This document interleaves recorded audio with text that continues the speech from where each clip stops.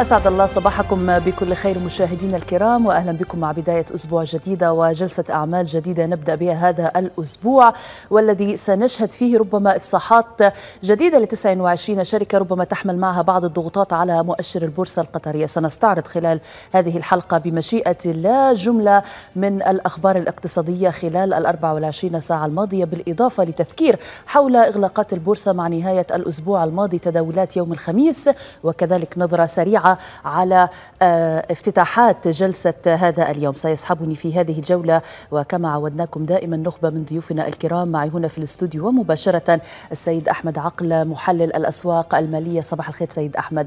ومعنا أيضا مباشرة من مقر بورصة قطر السيد عمر القضاء صحفي بجريدة لوسيل القطرية. أهلا بك معنا سيد عمر. إذا مشاهدينا بسم الله الرحمن الرحيم. دعونا نبدأ هذه الجلسة ونذكركم مع إغلاقات البورصة القطرية مع نهايات تداولات يوم الخميس الماضي. فقد أنهت بورصة قطر تعاملات الأسبوع الماضي على انخفاض وذلك بضغط من عمليات جني أرباح نفذها المستثمرون لتحويل مكاسبهم السوقية التي تحصلوا عليها في الجلسات الأخيرة إلى مكاسب رأسمالية. هذا وقد سجل مؤشر السوق انخفاضا طفيفا أغلق عند مستوى 9958 50 نقطة تقريبا فيما سجلت أحجام التداول خلال أسبوع نحو مليار و20 مليون سهم بقيمة ناهزت مليارين و140 مليون ريال وذلك من خلال تنفيذ أكثر من 40 ألف صفقة. كانت أسهم صناعات قطر قطر للوقود إزدان القابضة أبرز المتسببين بانخفاض المؤشر خلال الأسبوع حيث تسبب انخفاض سهم صناعات قطر بخسارة المؤشر ل 18 نقطة خلال الأسبوع.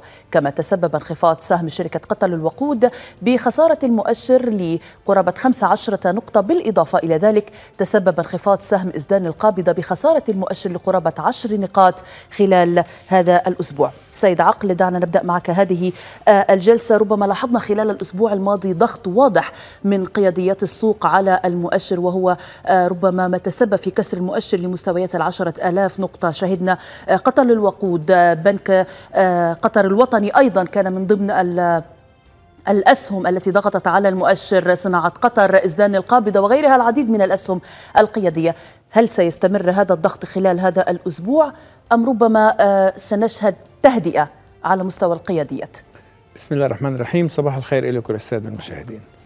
خلال الأسبوع الفائت نحن شفنا إذا بدك تذبذب كبير للمؤشر نوعا ما شفنا يعني من بعد ما كان فوق مستويات ال 10000 انخفض وقارب حتى من ال 9900 تقريبا ثم عاد للإغلاق فوق مستوى المقاومة أو الدعم اللي هو الآن دعم 9950 وهذا الموضوع حتى الآن جيد وإيجابي وما زلنا حتى الآن بآخر ثلاث أو أربع إغلاقات أسبوعية لم نكسر مستوى 9950 حتى بالرغم من انخفاض السيولة بالفترات الأخيرة. يعني نحن إذا بنشوف الأسبوع الماضي بالنسبة إلي السمة الأبرز هي عودة السيولة إلى قواعدها خلينا نقول. يعني عادت لتنخفض نوعا ما مقارنة مع الفترات السابقة وثبتت عند هذا الانخفاض. هيدا ولد نوع من الهدوء وبعض الضغط على بعض الشركات اللي كنا تعودنا نشوف عليها نشاط أكثر بالنسبة للشركات القيادية يعني خلينا نقول بعض الشركات أعلنت يعني مثل شركة وقود شركة إزدان كانوا قد أعلنوا عن الأرباح السنة اللي هي ربع سنوية لربع الثالث الخاصة بهم.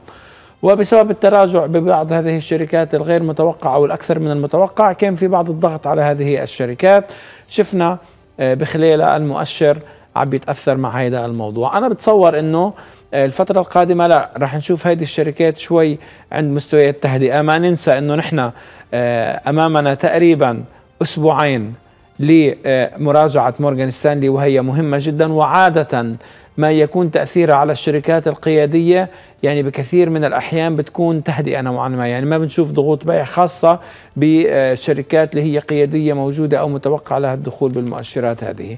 بكل الأحوال أنا لا بتصور أنه النتائج القادمة سوف يكون لها تأثير على الشركات التي ستعلن بالفترات القادمة. الشركات التي أعلنت أعتقد أنه خلص يعني اللي كان مفروض ينزل نزل اللي كان مفروض يرتفع عاد للارتفاع حسب النتائج التأثيرات الموجودة وبالتالي ما بتصور أنه راح نشوف مزيد من الهبوط بهذه الشركات خلال الأيام القادمة. نعم. عن أخبار الإفصاحات مشاهدينا فقد أفصحت 18 شركة مدرجة في بورصة قطر عن نتائجها للتسعة أشهر الأولى من العام الجاري. بلغ صافي أرباحها مجمعة 17 مليارا و800 مليون ريال مقارنة بنحو 20 مليار و200 مليون ريال خلال النصف الأول من العام الماضي أي بتراجع نسبته قرابة 12% توزعت الأرباح ما بين 14 مليار و400 مليون ريال عبر ست شركات من قطاع البنوك والخدمات المالية وهو ما يمثل 81% من إجمالي قيمة الربحية المسجلة حتى الآن بالإضافة إلى مليون و170 ألف ريال عبر أربع شركات من قطاع الصناعة. كما أفصحت أربع شركات من قطاع الخدمات والسلع الاستهلاكية بإجمالي أرباح بلغ نصف مليار ريال. بالإضافة إلى شركات قطاع النقل الثلاثة بإجمالي أرباح بلغ مليار و450 مليون ريال لتسجل نموا قارب من 10% مقارنة مقارنة بالفترة المناظرة من العام الماضي. بالنظر إلى نتائج الشركات التي أفصحت عن نتائجها حتى الآن يتضح أن سبع شركات منها سجلت نموا على صعيد الربحية. كان أبرزها ناقلات التي سجلت نموا بنسبة 23.16% لتحقق نحو 900 مليون ريال صافي أرباح خلال التسعة أشهر الأولى من العام الجاري. كما سجلت شركة الرعاية نموا بنسبة 12 و19% إلى 49 مليون و650 ألف ريال وكذلك بنك الخليج التجاري الخليجي بنسبة 9.13% إلى مستويات 543 مليون ونصف المليون ريال. تمكنت شركة واحدة وهي إنماء القابضة من التحول أو التحول من الربحية بدلا من الخسارة ليبلغ صافي أرباحها آه، قرابة 4 ملايين و700 ألف ريال. تصدرت شركة قامكو قائمة الأكثر تراجع بنسبة 80% لتصل إلى 12 مليون و300 ألف ريال. تلاها في ذلك مجموعة المستثمرين. بنسبة تراجع بلغت 59 و13 في المئة. سيد عقل بعد إعلان 18 شركة عن نتائجها آه، المالية للربع الثالث من هذا العام كيف تابعت آه، آه، المحصلة والحصيلة المحققة حتى الآن في هذه الأرباح وهل جاءت متسقة مع التوقعات السابقة لك؟ يعني خلينا أول شيء نقول أنه نحن حتى نصف العام كان عندنا أصلا تراجع 20% وبالتالي كان من المتوقع مع الربع الثالث مع إعلاناته أنه كثير من الشركات أيضا تكون متراجعة عن نفس الربع من العام الفائت هلا إذا بدنا نقول هل كانت من ضمن التوقعات لمعظم الشركات؟ نعم يعني القطاع البنكي كنا متوقعين له استقرار نوعا ما وبنشوف معظم النتائج آه، بعيدا عن الوطني معظم النتائج كانت بضمن الاستقرار. قطاع النقل كنا متوقعين نمو قوي وهذا اللي شفناه بشركة ناقلات هي أكثر الشركات نموا حوالي 23% وبالتالي هذا الموضوع كان له آه، يعني حتى إذا بدنا نرجع للربع الثاني والربع الأول بنشوف إنه شركة ناقلات كانت عم بتحقق نمو مضطرد. صحيح. نفس الشيء بالنسبة لبعض الشركات الأخرى. مثلا الرعاية خلينا نقول كان من المتوقع من بعد فترة كورونا وتوقف العمليات وغيره عودة النشاط بزخم. ولكن للحقيقة الشركة حققت مفاجأة أفضل من المتوقع على مستوى النتائج خاصة أنه الربع الثالث يعني حمل نتائج قوية جدا. إذا استمرت للفترات القادمة رح نشوف أداء كبير جدا للسهم. بكل الأحوال آه، أنا بقول أنه معظم الشركات كانت ضمن المتوقع. يمكن بعض الشركات آه، يعني خالفت وهذا شيء يعني طبيعي ولكن بشكل عام مقارنة مع نتائج النصف الأول من العام إذا بنقارنها بنشوف أنه كان من المتوقع أنه معظم الشركات تحقق تحسن بهالموضوع. كثير من الشركات التي أعلنت حققت تحسن مقارنة مع الربع الثاني ولكن ما زلنا دون الربع آه، الثالث خلينا نقول من العام الفائت. القطاع البنكي هو أكثر شيء إذا بدك عم بيكون ضمن التوقعات وما زلنا بانتظار نتائج القطاع الصناعي للفترات القادمة. نعم. مشاهدينا يختتم بنهاية الأسبوع الجاري موسم إفصاح الشركات عن نتائجها المالية للتسعة أشهر الأولى من العام الجاري حيث يشهد إفصاح 29 شركة عن نتائجها منها سبع شركات من قطاع البنوك والخدمات المالية وست شركات من قطاع الخدمات والسلع الاستهلاكية وست شركات أخرى من قطاع الصناعة وخمس شركات من قطاع التأمين وثلاث شركات من قطاع العقارات بالإضافة إلى شركتي قطاع الاتصالات. ينتظر أن يشهد غدا الأحد أو عفوا اليوم الأحد إفصاح شركتين هما البنك التجاري شركة قطر للسينما بينما يشهد بعد آه، آه، يشهد غدا الاثنين إفصاح خمس شركات هي البنك الدولي الإسلامي شركة بلال القابضة شركة بلدنا ومجمع المناعي وشركة فودافون قطر. بينما يشهد الثلاثاء المقبل إفصاح ثمان شركات وهي كل من بنك الدوحة الإسلامية للتأمين صناعة قطر التحويلية استثمار القابضة العامة للتأمين بروى العقارية وشركة قطر للتأمين. خلال الأربعاء المقبل ينتظر أن نشهد إفصاح عشر شركات دفعة واحدة وهي كل من بنك قطر الأول ومساعد للبتروكيماويات شركة السلام العالمية شركة الميرا للمواد الغذائية الدوحة للتأمين المتحدة للتنمية أريد وقطر وعمان مزايا قطر ومجموعة أعمال تختم عفوا تختتم الإفصاحات يوم الخميس المقبل مع أربع شركات وهي الإجارة زاد القابضة الخليج التكافلي والخليج الدولية للخدمات. ننتقل الآن لسيد عمر القضاء من بورصة قطر. سيد عمر ننتظر خلال الأسبوع الجاري إفصاح 29 شركة دفعة واحدة. هل نتوقع مزيدا من الارتباط بين أداء المؤشر أرباح الشركات آه، لحين انتهاء موسم الإفصاحات الجاري؟ بداية أسعد الله صباحك وصباح جميع المشاهدين. بالفعل هناك ارتباط ما بين المؤشر وما بين الإعلان عن النتائج المالية للشركات لا سيما في نهاية الربع الثالث من كل عام والتي تعطي مؤشر لتوزيعات الأرباح النقدية مع نهاية العام. ننتظر خلال هذا الأسبوع حقيقة الإعلان عن نتائج شركات في العديد من القطاعات الاقتصادية. لا سيما آه، القطاعات الصناعية التي آه، شهدت ضغوطات كبيرة نتيجة للتحديات لجائحة كورونا والتي أدت إلى انخفاض عملياتها التشغيلية. آه، باعتقادي أننا سنشهد حقيقة ارتباط مباشر ما بين المؤشر وما بين نتائج هذه الشركات خلال الأسبوع الحالي ما بين الارتفاع والانخفاض خلال الأسبوع الحالي. إذا كانت الشركة قد حققت أرباح ويتم هناك حركة بيعية كبيرة على السهم مما سيؤدي إلى ارتفاع هذا السهم. وأيضا إذا كان هناك تراجع في نسبة الأرباح حقيقة سنشهد هناك حركة من البيع على هذه الأسهم. الأمر الذي سيؤدي إلى انخفاض أسعار هذه الأسهم والتأثير على المؤشر بنهاية المطاف. نعم. على ذكر آه، تأثير أو تأثر المؤشر بالإفصاحات سيد عقل نشهد خلال هذا الأسبوع. إفصاحات ل 29 شركة دفعة واحدة. ربما يوم الثلاثاء والأربعاء سيكون الضغط الأبرز على المؤشر. ثمان فعشر شركات على التوالي. آه، ما هي الشركات التي تتوقع أن يكون لها الأثر أو التأثير الأكبر على أداء المؤشر؟ شوفي من حيث الطبيعة العامة لابد أن الشركات القيادية بقطاعاتها ذات الوزن الأكبر بالمؤشر هي اللي حيكون لها تأثير أكبر. يعني اليوم في عنا شركات قادمة متوقع إعلانها مثل شركة صناعات قطر مثل شركة أريدو مثل غيرها من الشركات بروة. بنشوف إنه هيدي الشركات عند قطر للتأمين بنشوف هيدي الشركات بشكل عام هي شركات ذات أوزان كبيرة على مستوى آه، القطاع الخاص فيها وعلى مستوى المؤشر أوزان مرجحة. وبالتالي من المتوقع أنه تأثيره يكون واضح على المؤشر، نحن بنعرف مثلا شركة مثل صناعات قطر تاثيرها بيكون على جميع القطاع الصناعي بل على السوق ككل بيوم اعلانها إذا كان إعلان بعيد عن يعني التوقعات سواء نعم. كان ايجابيا أو أو سلبيا، فهذا خلينا نقول من الناحية الأولى.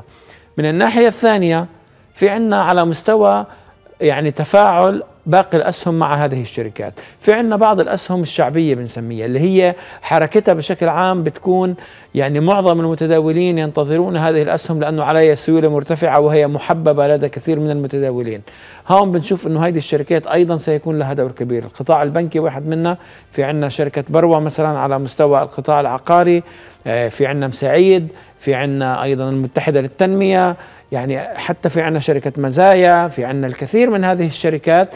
على مستوى حتى الغير عقاري آه، على مستوى شركات أخرى عندنا أيضا على مستوى قطاعات أخرى. هذه الشركات أعتقد إنه رح يكون أيضا لها تأثير كبير بحركة السيولة عليها. هلا الموضوع هيدا مرتبط بكثير من المعطيات ولكن أنا بقول إنه بالفترة الحالية هذه الإعلانات هي من ستحرك الأسواق. اذا ما فهمت من كلامك إن وزن هذه الشركات التي ستفسخ خلال هذا الأسبوع ستكون مؤثر واضح بشكل و... كبير. وهي المؤثر بشكل كبير الابرز حقيقة. في حال كسر المؤشر 9900 نقطة. صحيح لا سمح الله حتى في حال ارتفاع هذه الشركات اليوم يعني إذا بدنا نقول صناعات قطر أو بدنا نقول آه عندنا قطر للتأمين أو بدنا نقول أريد هذه ثلاث شركات بتحمل آه نسبة كبيرة من المؤشر آه بأسعارها وبالتالي أي تحرك على المستوى السعري تبعها رح يكون مؤثر بشكل مباشر خاصة أنه الشركات الأخرى أعلنت منذ فترة وتفاعل مؤشر معها يعني اليوم الوطني أعلن وانتهى نعم. تفاعله تقريبا نعم. وبالتالي هذه الشركات هي من تحرك السوق بالفترات القادمة بالإضافة مثل ما قلنا لبعض الأسهم الشعبية اللي بتحرك السيولة فودافون بروا آه البنوك آه نعم. غير من الشركات الأخرى. نعم. مشاهدينا ما زلنا مع آه، أرباح الشركات حيث حققت شركات قطاع النقل المدرجة في بورصة قطر نتائج قوية خلال التسعة أشهر الأولى من العام الحالي حيث ارتفعت أرباح شركات القطاع بنسبة 9.5% مقارنة بنفس الفترة من العام السابق وذلك رغم جائحة كورونا التي أثرت سلبا على أنشطة الشركات التشغيلية.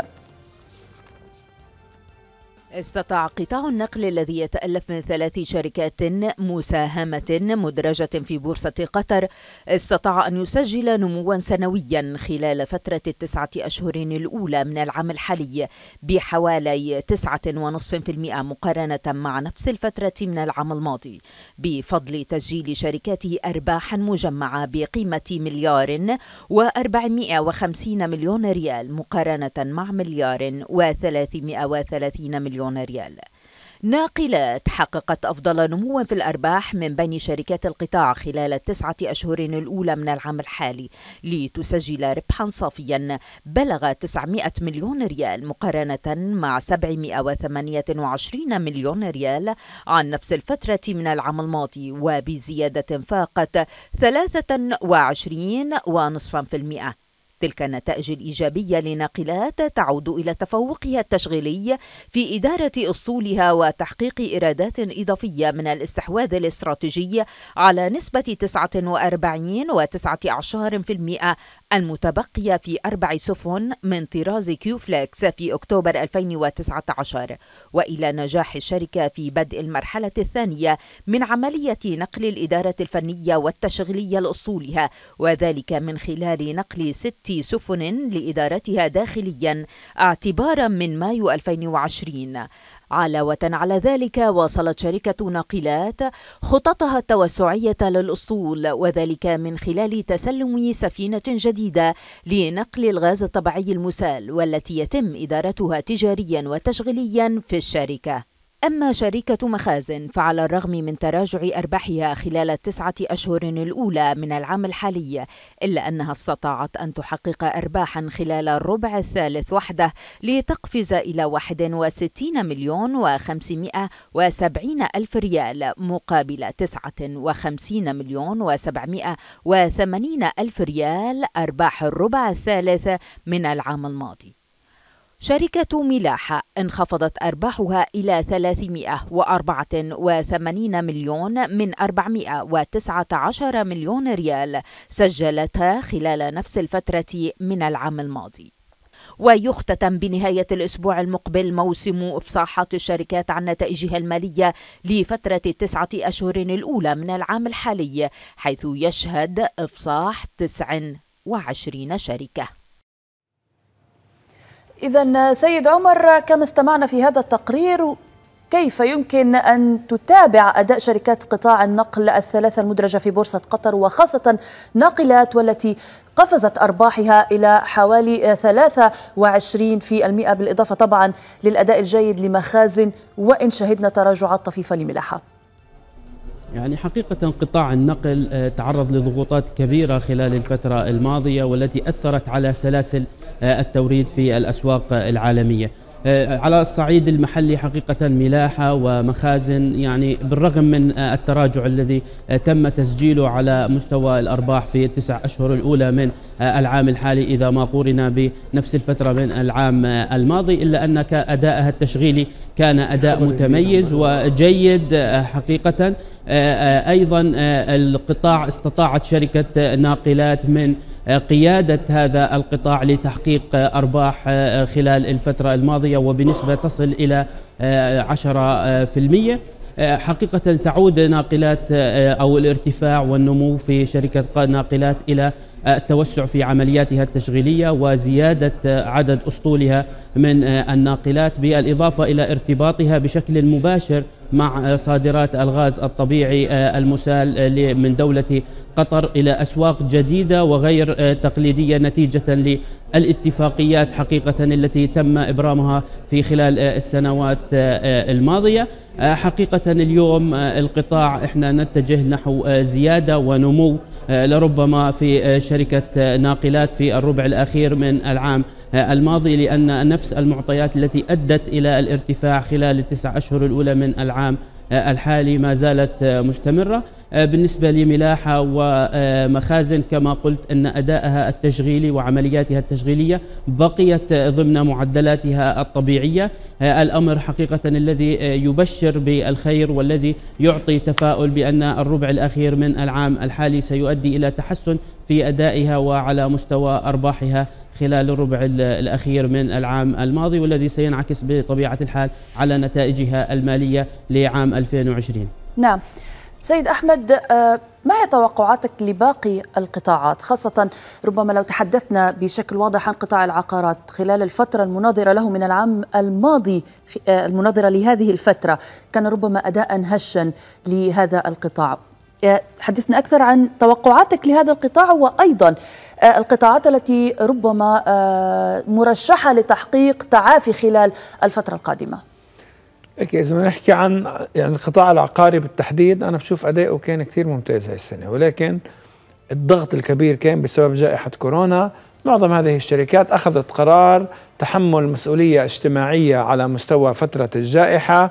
وهيدا ضغط على كثير من هذه الشركات التي أعطت جزء كبير من هذه الفترة يمكن حوالي ثلاث شهور البعض منا والبعض يمكن أكثر خاصة لمستوى المحال التجارية والأنشطة التجارية أعطوا إعفاءات. وهذا الموضوع أثر بشكل مباشر على إيرادات هذه الشركات ونحن بنعرف أنه مصدر الرئيسي للإيرادات لهذه الشركات يمثل ما يزيد عن 90% من إيراداتها هو موضوع الإيجارات. وبالتالي لما نحن عم نعطي ثلاث شهور من العام يعني تقريبا 25% ربع العام فترة إعفاء من الإيجارات لابد أن تتأثر. الإيرادات أقل شيء ب 25% إن لم يكن أكثر بناء للمصاريف اللي تراكمت خلال هذه الفترة. بكل الأحوال أنا بقول أنه خلال الربع الأخير من العام أتوقع بداية عندنا قطاع البنوك أو القطاع المالي قد يكون أسرع.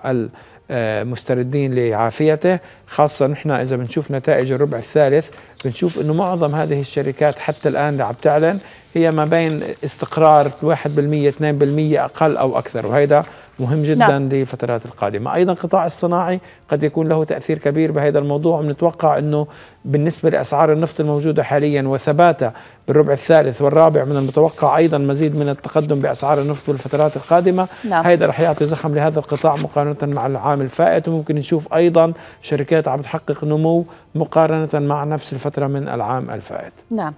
مشاهدينا الكرام دعونا نستعرض وإياكم افتتاحات السوق القطري لهذه الجلسة. نشهد حاليا ضغوطات واضحة على المؤشر قادته لمستويات التسعة ألاف وتسعمائة نقطة مع انخفاضات بأكثر من خمسة عشر النقطة المئوية تداولات طفيفة أيضا أو هادئة على صعيد السيولة السوقية. نشهد 47 مليون ريال مع 38 مليون سهم حتى هذه اللحظة. دعونا نستعرض وإياكم الشركات الأكثر نشاطا خلال عفوا ارتفاعا خلال هذه اللحظات. المناعي تتصدر القائمة الخضراء مع ارتفاعات قاربت من 5% تليها في ذلك الطبية.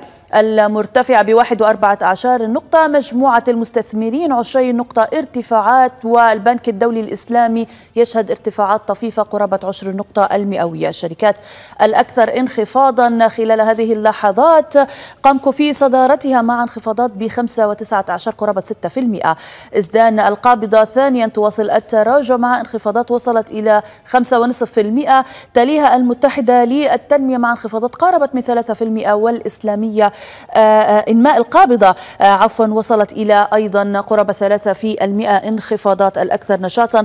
حتى هذه اللحظات قامكو في صدارتها. مع تداولات وصلت إلى 17 مليون و600 ألف ريال 11 مليون و900 ألف ريال لإسدان القابضة. تليها استثمار ثلاثة ملايين وربع المليون ريال وبروة العقارية تستحوذ على مليوني وربع المليون ريال هي الأخرى. أه نترك الآن ملف البورصة جانبا و أه نصحبكم في تقرير سيأخذنا معكم عن موسم التخييم في قطر حيث يحظى موسم التخييم في دولة قطر باهتمام غالبية المواطنين الذين سعى بعضهم منذ بداية أو منذ مدة لتجهيز متطلباته الأساسية والتي من بينها إعداد مستلزمات الموسم وتركيب الكرفانات أو الكبائن والقيام بأعمال الصيانة حيث ازدادت نسبة الإشغال في ورش ومصانع الكرفانات بشكل ملحوظ خلال الآونة الأخيرة. على هذا النحو تعمل مصانع الكبائن والكرفانات في الدولة على وتيرة متسارعة لا سيما خلال هذه الأيام حيث تجتهد من أجل إنجاز الطلبات المتزايدة وفي وقت وجيز في هذا المصنع مثلا يقول القائمون عليه إن عمليات صناعة الكابينة أو الكرفان عادة ما تمر بمراحل عدة منها تجهيز القوالب ومن ثم الطلاء وليس انتهاء بمرحلة تركيب النوافذ والأبواب والإكسسوارات اللازمة.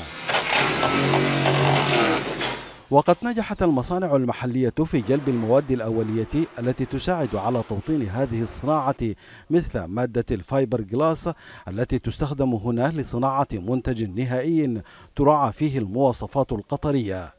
ساهمنا في تلبية حاجة السوق القطري من مختلف قطاع الكرفانات والكبائن اللي يتم صناعتها من مواصفات عالية الجودة ابتداء من مواد الخام مرورا بالطلاء والعازل بالإضافة إلى الإكسسوارات مما إلى ذلك. آه، مما مكننا أيضا من الحصول على شهادة لايزو عام 2019 وكذلك على براءة الاختراع في المنتج الحجري. المنتج المحلي يعني طبعا متلائم مع مواصفات مع مواصفات قطر سواء كان من ناحية درجات الحرارة آه، عمليات مواصفات كهرباء الأدوات الصحية أدوات الكهربائية. كذلك من بين أشغال المصانع عمليات إعادة تأهيل الكبائن والكرفانات. هنا يعمل هؤلاء العمال منذ وقت في صيانة هذه الكرفانة. يقول الفنيون إن عمليات إعادة التأهيل عادة ما تشمل الكابينة أو الكرفانة بشكل عام مع التركيز على إمدادات الكهرباء والماء. أثناء فترة الموسم هي أربع شهور. وبعدين بتتوقف لمدة ثمانية شهور الكرفانات فلا بد من عملية صيانة حتى من أي ضمان السيفتي لها. عند عملية نقلها أو شيء يعني بالنسبة للهبات التايرات الأعمال الكهربائية لا قدر الله من أعمال الشرطه تعمل يعني أعمال الصرف الصحي. هي مراحل تكمن أهميتها في كونها تضمن جهوزية الكابينة أو الكرفانة للاستخدام بشكل يوفر السلامة والأمان في الرحلات القصيرة أو عند التخييم.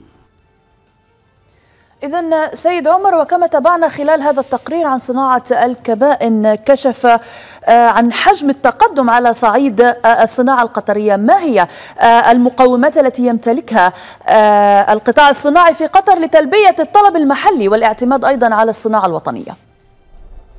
يعني حقيقة صناعة الكرفانات والكبائن تمتلك الكثير من المقومات في السوق المحلي.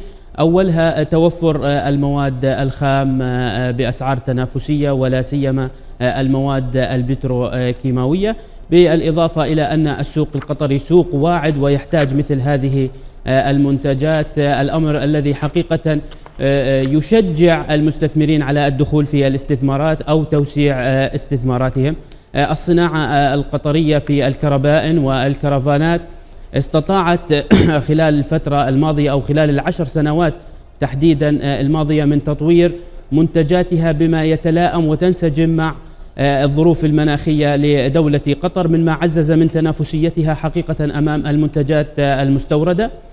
حقيقة أيضا هذه المنتجات التي أثبتت جودتها وأسعارها التنافسية مكنتها من تعزيز تواجدها في السوق المحلي وتلبية حاجة السوق المحلي. اليوم لدى الصناعة القطرية حقيقة إمكانية لتغطية حاجة السوق المحلي سواء للتخييم أو سواء حتى استخدام هذه بعض هذه الكبائن في بعض المؤسسات الحكومية أو الشركات القطاع الخاص. هذه جودة هذه المنتجات وأسعارها التنافسية حقيقة والسعي الدائم لتطويرها سيجعلها نعم. أيضا حاضرة بقوة في الأسواق الإقليمية مستقبلا. نعم.